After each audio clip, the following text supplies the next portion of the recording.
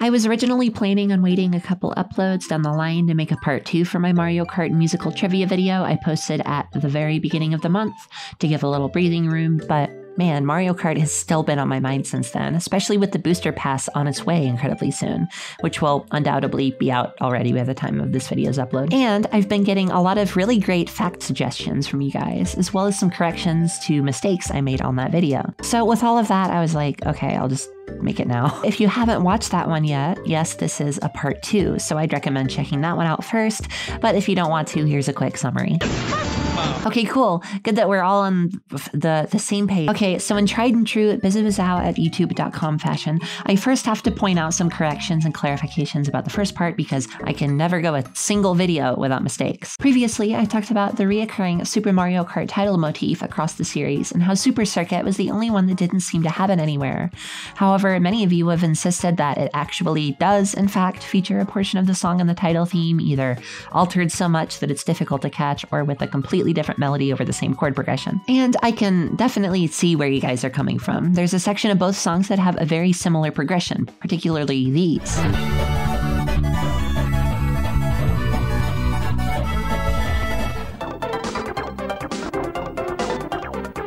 And it's fairly likely that this was intentional, but if the intent was to like make it identifiable or recognizable as such, they kind of did a bad job. Honestly, I don't know, it just feels super stretchy to me and could have totally just been a coincidence. Honestly, kind of difficult to tell. But it doesn't really matter anyways because we have found the motif in a different song. I completely missed this thing due to this particular track's absence in all of the soundtrack playlists uploads on YouTube. But yeah, a remix of the song plays for every track during GBA Link cable multiplayer races if only one player has a game pack. And hey, this one was pointed out to me by a commenter, so thank you to Cowboy Luigi for that. So anyways, here's something that I actually did know about, just completely forgot while writing the last video. There's another game outside the Mario Kart series that has the 64 Rainbow Road motif in it. Well, it's not a motif, it's just a full remix of the song, but it's fairly obscure, so it's worth a mention. In F-Zero X for the N64, there's an unlockable cup called the Joker Cup that can be unlocked by coming first in all the others, and featured as the very first track is Rainbow Road, which is obviously a big nod to the Mario Kart series. Anyone living out outside of Japan with a regular old N64 and a regular old copy of the game we'll just hear the track Driving Through on Max played over the race, as this is what's in the base game.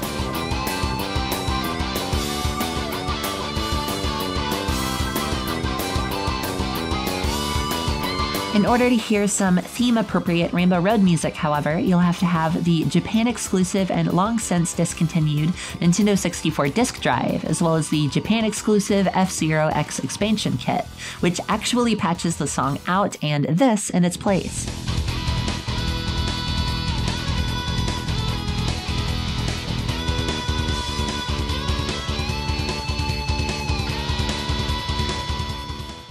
Okay, now some new stuff. Let's talk about all double dash double exclamation points over here. Like the last one, I'll start with a few fairly obvious small musical nods in the game. There's the start of the Mario theme and the intro of the Tilde Kart chorus. The start of the Mario 3 boss battle theme is the jingle that plays when you lose the Shine and Shine Thief. And the Mario Sunshine Delfino Plaza theme mixed in the trophy ceremony for this game.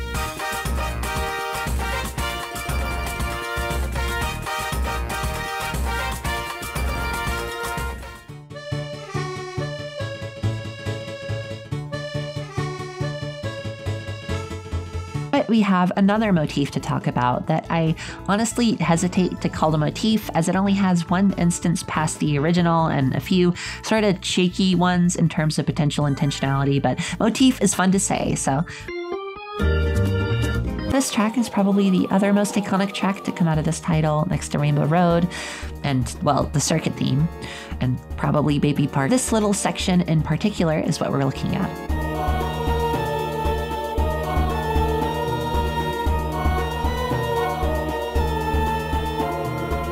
This melody line makes a metal as hell cameo in Mario Kart 7's Bowser Castle.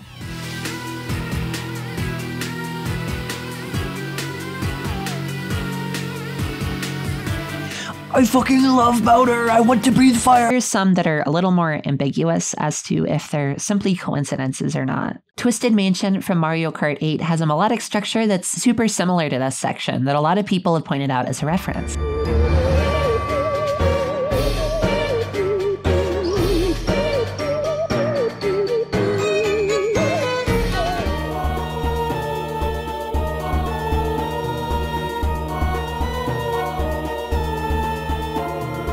Definitely sounds like it at the very least. There could be some possible inspiration taken from Double Dash Bowser's Castle, which, interestingly enough, was a song shared with Luigi's Mansion battle course in that game. So if it is an intentional nod, it was likely to that specifically, given the shared ghost theme. However, although similar, the two melodies are noticeably off from one another. The amount of discrepancies and alterations between the two makes me think it could very well just be a coincidental similarity yet again. Weirdly enough, though, there's a track from an actual Luigi's Mansion game that adds another whole layer of confusing fuzziness to all this. In Luigi's Mansion 3, people were quick to notice a melodic similarity to, this time, Twisted Mansion itself. In Floor 3, the hotel shops, you can hear this.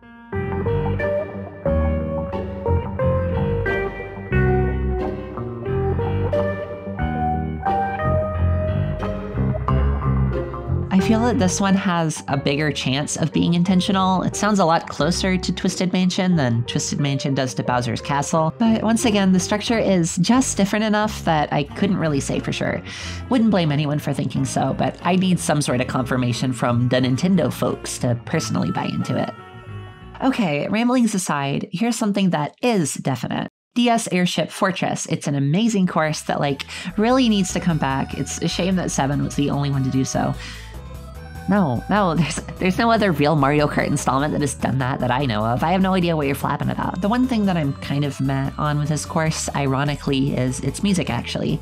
It's not terrible, it's just a little bit boring and doesn't really fit the theme a ton in my opinion. But I did gain a lot more appreciation for it after noticing that it's actually a variation on this game's Bowser's Castle, which is a neat little through line for the game.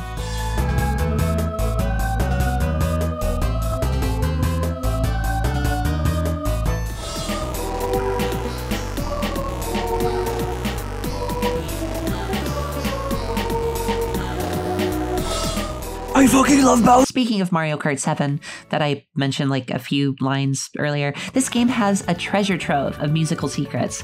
Once again, I'll get the easy ones out of the way and then get into the good stuff. Piranha Plant Slide has little tiny nods to the Mario theme and underground theme littered throughout, as you probably knew or could have guessed.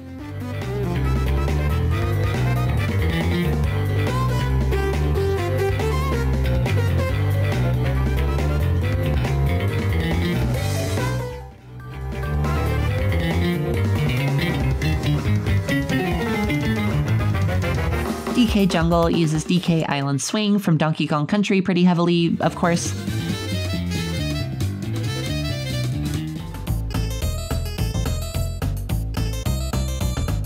And obviously, Wuhu Loop and Maka Wuhu both use the Wii Sports Resort theme. It's literally just the exact same song, but with Mario Kart 7 3DS instrumentation, so I don't really need to play it. However, there is something kind of interesting regarding the Wii Sports Resort based battle track, Wuhu Town. In Mario Kart 7, all of the battle courses use remixes of the exact same song, each one arranged to fit the theme of their respective courses, including Wuhu Town.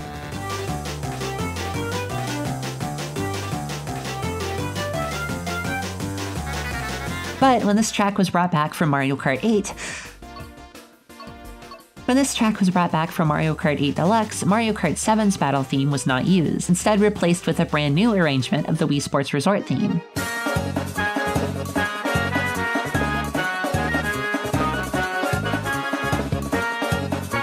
This makes Wuhu Town one of the only two retro battle courses in the series to get their original tracks replaced with a brand new arrangement of a completely different song. The other one being GameCube Luigi's Mansion, also in Mario Kart 8 Deluxe, which is honestly a weirder case. As I brought up earlier, the original course in Double Dash reuses the game's Bowser's Castle track. GameCube Bowser's Castle does not appear in Mario Kart 8, so you'd think it would make sense for them to just remix the song in Mario Kart 8 style, maybe even with a more spooky Halloweeny sound if fit the track's theme this time.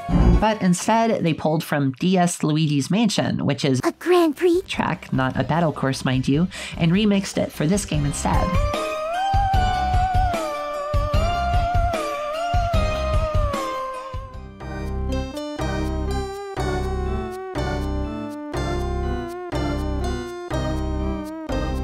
This is just so weirdly convoluted. I'm not sure why they went this route. What drugs were they on? Mushrooms like Mario? Mushroom drugs? Okay, enough of that mess. Back to Mario Kart 7 with some more straightforward stuff. I already talked about how 7, the same as all the other games, has Super Mario Kart's theme mixed into its own theme. Well, apparently that wasn't enough for these gluttonous psychopaths who needed to shove yet another one in there. Yeah, Mario Kart Wii's main theme is in there as well and shows up several times throughout the game actually.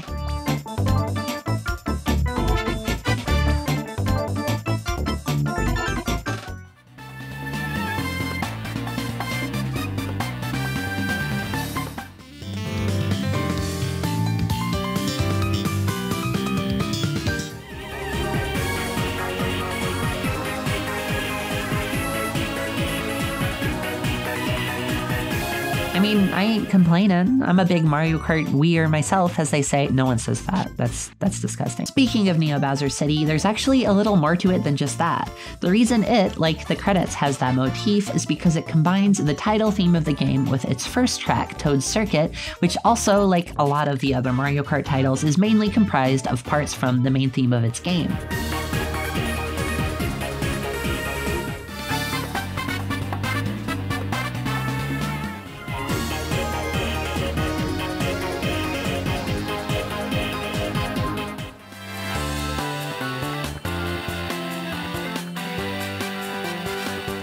If it couldn't get any better, there's also a short quote from 64's Toad's Turnpike. Look at that.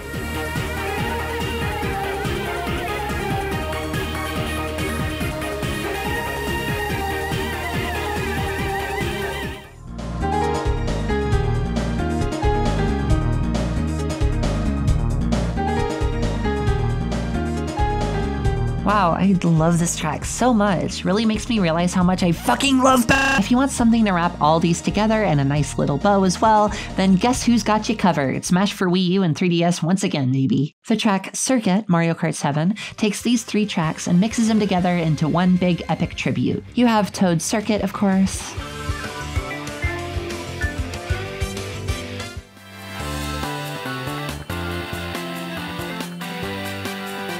The title theme.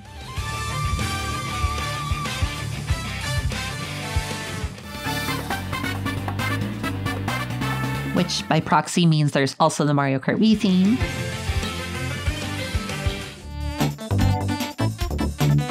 And Neo Bowser City.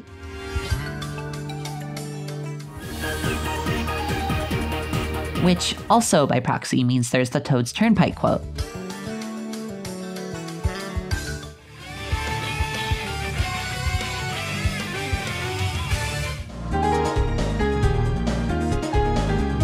For the lengths that the Smash 3DS dev team went to make you remember Mario Kart 7, people really forgot the hell out of Mario Kart 7, didn't they?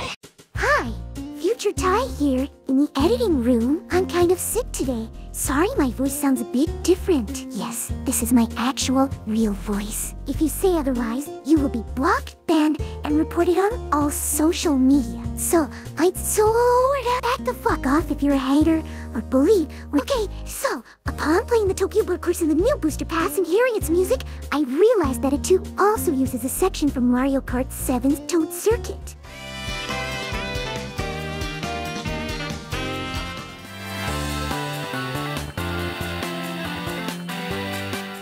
That's all. Back to in the past. All right, I have one more Mario Kart 7 track to leave off on, and that is Wario's Shipyard, another really unique track that I really want back. This is Eminem's Shipyard now. To overcompensate for the fact that this track has like hardly anything to do with Wario at base level, they flung all the yellow and purple paint they had onto any surface that it would stick to. But don't worry, the music is picking up some major slack in this department because we got some cool Wario Land musical references, specifically the Stage 1 theme, which also acts as the main theme of the game. The track is comprised mostly of variations on the intro to the song, as you can hear right here.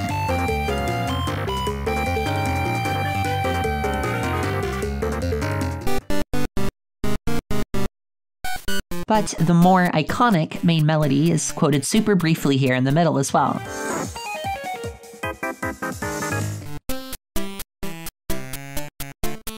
Really really wish more Mario Kart songs would do this sort of thing, like quoting little bits of songs from elsewhere in the Mario series to aid to the theme of the track. It's just super fun to pick up on and can really elevate these tracks to being even more special. Mario Kart 8 does this a lot with its Nintendo crossover tracks, as you probably know, but we'll have to talk about that another day. Hope you all enjoyed this episode and maybe learned something. Now, if you'd excuse me, I. I can make orange rhyme with banana in Mario shipyard. Thank you for watching. As always, be sure to let me know if you have any other musical tidbits to share or if there's any other game series that you'd like to see me cover in the future. And I'd like to give some thanks to my Scrunklies over on Patreon. Thank you for supporting me.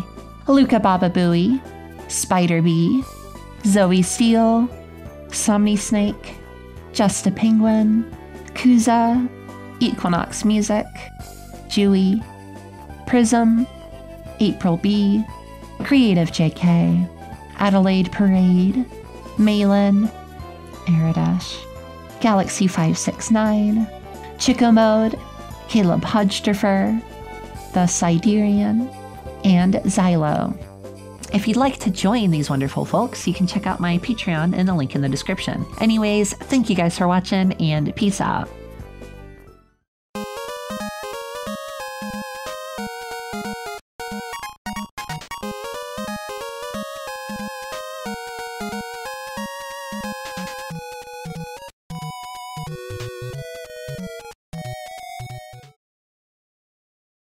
Stuck inside of a Mario Kart race.